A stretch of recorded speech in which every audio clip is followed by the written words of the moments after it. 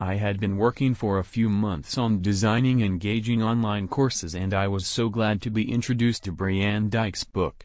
The content had assisted me to reevaluate my strategy and my content to ensure not only participants go through the entire material but also get value out of it. I liked very much this perspective. If you want to maximize the impact of your work on participants' lives, it's not enough for them to consume all your content.